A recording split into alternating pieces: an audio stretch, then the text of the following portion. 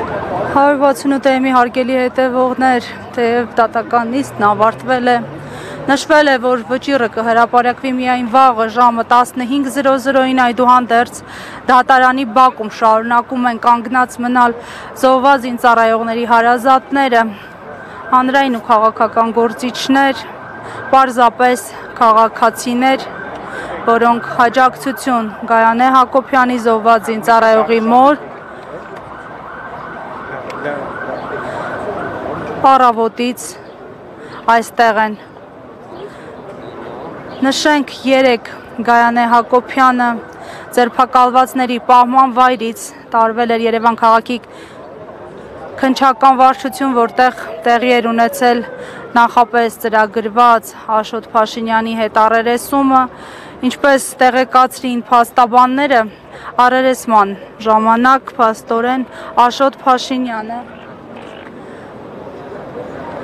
ոչ մի նոր բան չի ասել, ասել է թե այդ կերպ հաստատել է հաղորդումը, հաղորդման բովանդակությունը 3 Պաստաբան Վահան Հովանիսյանը տեղեկացրել էր, որ դատարան է մուտք արել ձերբակալման դեմ բողոքը։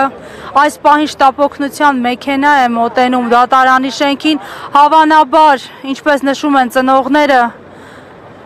հենց Գայանե Հակոբյանի ինքնազգացողությունն է վատացել։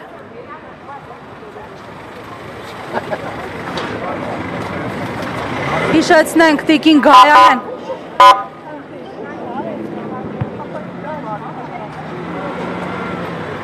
Երեք օր է ուղակի սնունդ չի ընդունել։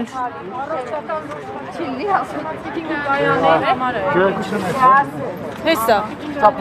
Երրորդ օրնա մարդը հաշ չի կերե, բա ինչ պետքա լինի։ Դու ձեզ չթույլ չեն տալիս ոչ մեկի նրան։ Հա։ Կայան, հա։ Հա, հա։ Պետքա, նո։ Օֆ, օֆ, օֆ։ Մերում չեն։ Դոնե սոմային թողը։ Ասած կողքի դա։